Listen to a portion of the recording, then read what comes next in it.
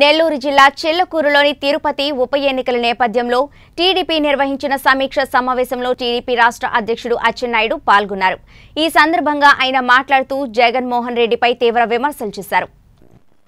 BJP YCP పార్టీలకు తిరుపతి ఉప ఎన్నికల్లో ఓటు వేయమని అడిగే నైతిక హక్కు లేదని ఎద్దేవా చేశారు. వైసీపీ ఒక డ్రామా కంపెనీ అని వాళ్ళు డబ్బు మదంతో మాట్లాడుతున్నారని వ్యాఖ్యానించారు. వైఎస్ఆర్సీపీ ఇరవై రెండు మాసాల్లో అవినీతి చేసిన సొమ్ముతో ఎన్నికల బరిలో దిగుతున్నారని వెల్లడించారు. కేంద్ర ప్రభుత్వం మెడలు వంచి ప్రత్యేక హోదా తెస్తానన్న జగన్ ఇప్పుడు ఆ ఊసే లేదని అన్నారు. ప్రధానమంత్రిని కలిసే పరిస్థితి జగన్కు లేదని ఎద్దేవా చేశారు. ఢిల్లీ వెళ్ళడం నాలుగు గోడల మధ్య ప్రధాని కాళ్ళు పట్టుకోవడం తప్పితే జగన్కి ఏమీ ఏమి తెలుసని ప్రశ్నించారు. ప్రధానిని ఏ సమస్య మీద కలిశాడో కూడా చెప్పలేని పరిస్థితిలో జగన్ ఉన్నాడని అన్నారు. ఆలోచించి ప్రజలను చేయవలసింది పోయి ఇష్టం వచ్చినట్టుగా ఈరోజు ఒక ఐటెం రాశారు. ఆ ఐటెం ఏంటంటే తెలుగుదేశం పార్టీని బీజేపీలో విలీనం చేసేస్తున్నారు. ముహూర్తం ఖరారైపోయిందని చెప్పి పిచ్చి రాతలు రాశారు.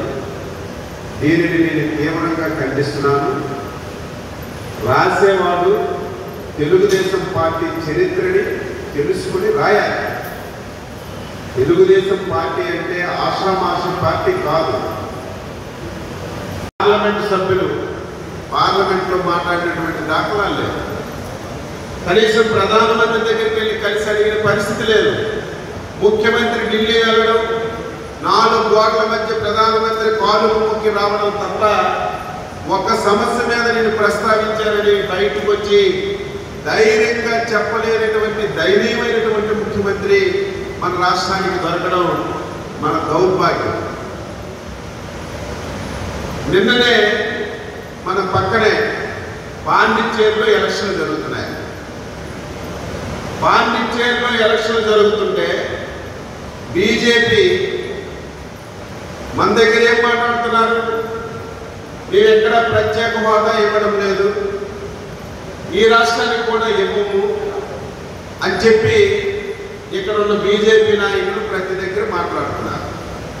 ఎక్కడ ప్రత్యేక హోదా ఇవ్వడం లేదనేటువంటి మాట్లాడినటువంటి బీజేపీ నాయకులు పక్కనే పాండిచ్చేరిలో ఎలక్షన్ జరుగుతుంటే అక్కడ వారి మేనిఫెస్టోలో పెట్టారు.